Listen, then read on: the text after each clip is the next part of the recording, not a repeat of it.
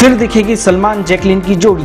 शुद्धि फ़िल्म की शूटिंग शुरू होना तो दूर। लंबे समय से इसके कलाकार ही फाइनल नहीं हो पा रहे हैं। करण जौहर के धर्मा प्रोडक्शंस के बैनर तले बनने वाली इस फ़िल्म में ऋतिक रोशन और करीना कपूर को लिया गया था। ऋतिक ने बाद में फ़िल्म से अलग होने का निर्णय लिया। ऋतिक के इस निर्णय का असर करीना पर भी हुआ और उन्होंने भी फ़िल्म छोड़ दी। ऋतिक की जगह रणवीर सिंह से संपर्क किया गया, लेकिन उन्होंने फ़िल्म करने में कोई रुचि नहीं ली। दीपिका पादुकोण भी रणवीर सिंह के नक्शे कदम पर चली। आखिरकार सलमान खान को चुना गया। एआईबी विवाद को लेकर करण से सलमान नाराज़ थे।